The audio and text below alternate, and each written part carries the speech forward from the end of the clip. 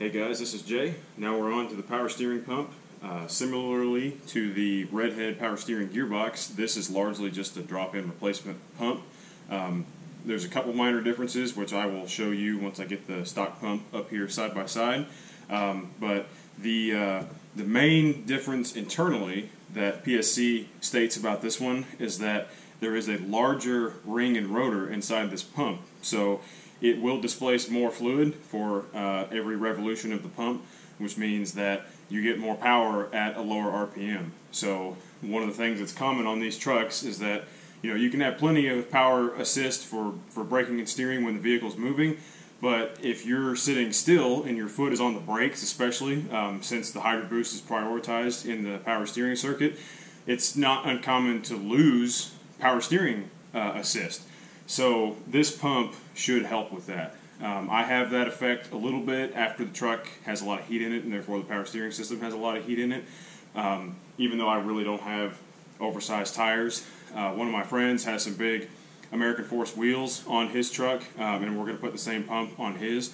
Um, so it, it should it should eliminate any issues that I have uh, with with losing power assist at, at uh, with my foot on the brakes and the vehicle stopped. Um, but I'm also hoping that it will eliminate those issues for him. Um, so of course I will get this on the truck and tell you how it works with me, and then I hope to do a, uh, a friend feature video with his truck after we get these similar front end upgrades done to his. Alright, now that I have them side by side, you can see just how similar they are. Um, the fronts are, are identical. They have all the same mounting holes and, and also on the back the two studs and the high pressure out. Actually, really the only difference between the two is just the placement of this upper return line. Um, the factory one has it coming straight out the back, but this one has it kind of coming out the side. I don't think that's going to cause any issues because this return line is a one-piece rubber hose. Um, I will let you know for sure once I get it on the truck. Everything else I wanted to note here is in relation to removing the factory pump from the vehicle and also getting this pulley off. Um, first, the, uh, the, the pump on the front has this mounting plate that goes behind the pulley and it fits in these three holes right here and there are three bolts on the front that run into the front of the cylinder head. Um, and then on the back you have this plate which fits over these two studs right here and there is a nut on each one of them. And when my buddy and I were trying to take this off, uh, we couldn't see this nut down here, but we could see this one. And it was deceptive because we thought this was the only one holding it on. But it turns out what you should do to remove this is leave both of these nuts on. And there are actually two bolts on the side of this that run into the cylinder head. So don't take any of the nuts off until you have the pump out of the vehicle because you will not have access to this bottom one. It's actually recessed into the bracket and inaccessible. Um, on the other end, as far as pulling the, uh, the pulley off of it, as you can see by that slit down the middle of both of them, hopefully, um, we were unable to pull this off without doing it destructively.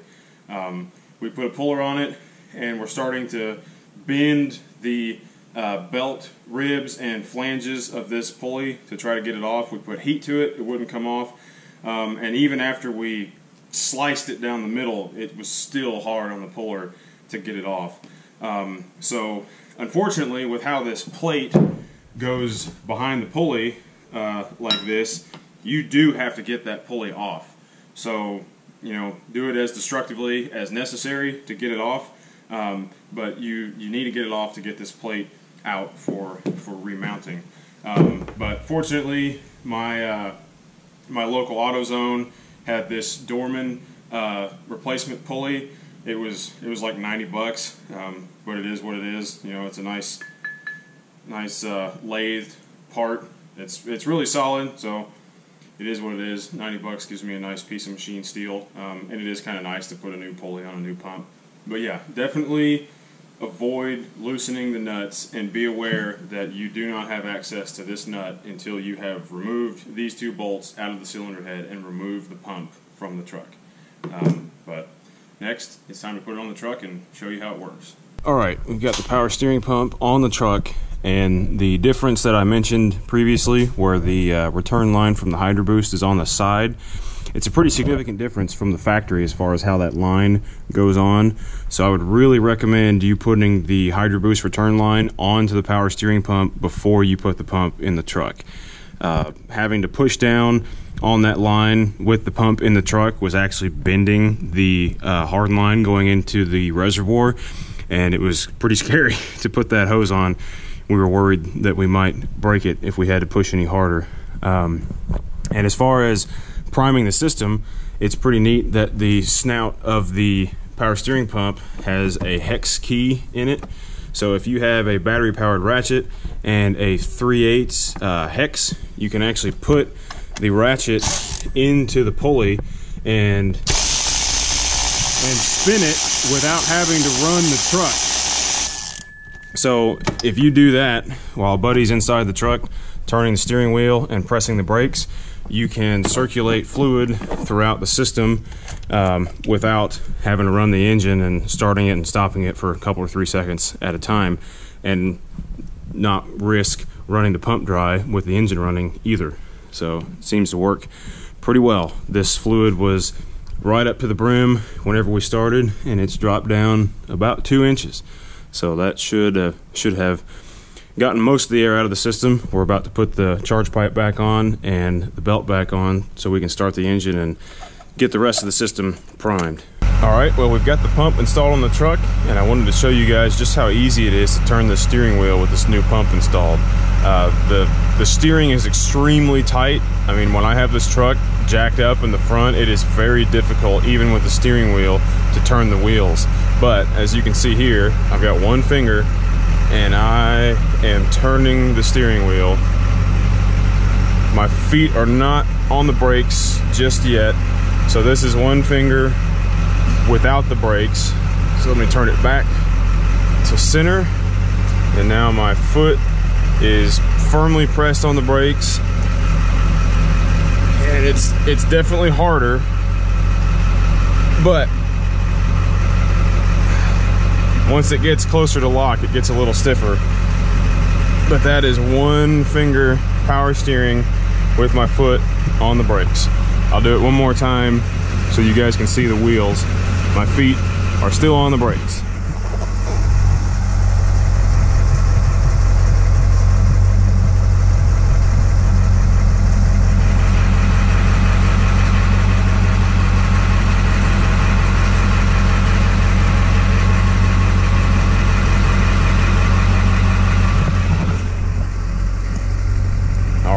Well, as you can see, I have no trouble turning the steering wheel, even with the brakes applied and the truck still. It is fantastic. Well, I hope that in-cab footage showed you just how powerful this new pump is. I mean, it, it, truly has changed the way this truck steers.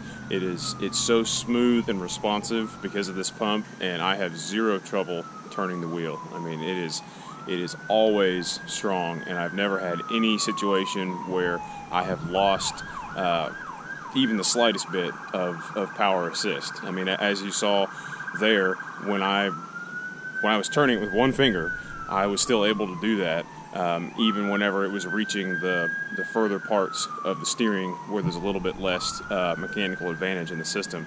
And and so whenever you're you know actually turning the steering wheel with with all, your whole hand or even two hands, it's it's not noticeable at all. I mean, it is it is such a good upgrade for these trucks. Um, and and yeah, I, I realize that these these videos don't have a lot of action in them, but I am building up to the, the final video where I I show just how much better this truck is uh, with a load applied. I'm, I'm going to uh, tow that skid steer again. That's about an 11 and a half thousand pound trailer, um, and so I'll get get all the filming of that and, and show you just how how safe and, and settled and um, easy to drive this truck is, even with a really heavy load behind it. So we've got a couple more videos after this. The next one is going to be the uh, power steering lines, and then the Borgeson power steering shaft, and then finally the um, the Hydro Boost. I also have a really nice Weigh Safe uh, hitch that's rated for 12 and a half thousand pounds. So I may toss in a quick upgrade lowdown video on that before we get to the the final one with the skid steer.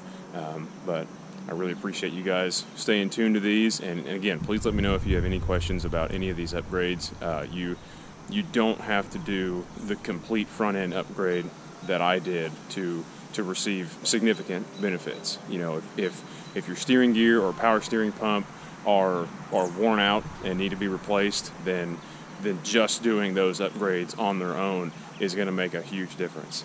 Um, so yeah, I really appreciate you staying tuned to the channel, and uh, as always, Thanks for watching, and remember, if it's smoking, it's broken.